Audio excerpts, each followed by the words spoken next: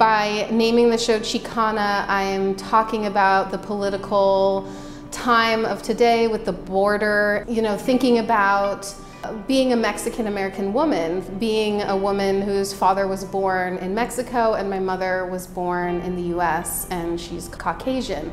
And dealing with how that feels growing up and people telling you, oh, you look Mexican or you don't look Mexican or you look white or you don't look white, and how that felt and how I tried to cover it up or I tried to hide it under a blanket or um, just all these things that come up being a mixed ethnicity.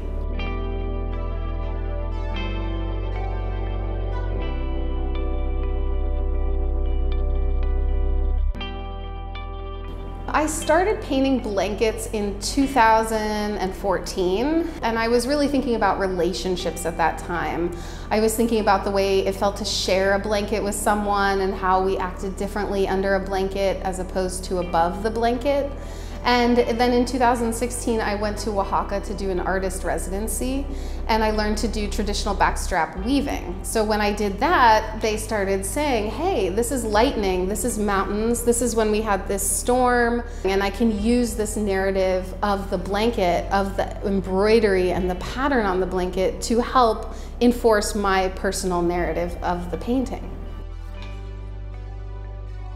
So, so, specifically I wanted to paint people under blankets and then it was like, well, what blanket? Well, I'll use blankets that I have. I have a Mexican blanket.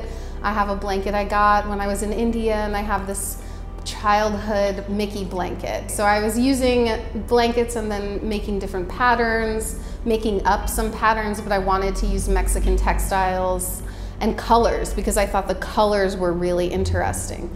But the more I painted the animals on the blankets and the patterns on the blankets, the more interested I became in the pattern. And then the pattern, whether it was uh, an icon that we know or an icon that we don't know, we can learn about it, and that just added another layer to the story.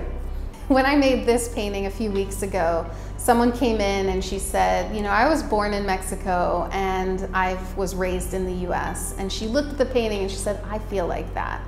And I thought, ah, oh, like that's what I want. That's what I want. I want people to feel like there is a section of the art world that is for them and that uh, those conversations should be had and they should feel like they see themselves in the artwork that's in the world. So I plan on pushing this further and further. I don't know where it's going to go. Um, I like to surprise myself, but uh, it definitely will be a wild and uncomfortable journey that I'm going to go on. There are a lot of blankets in the world.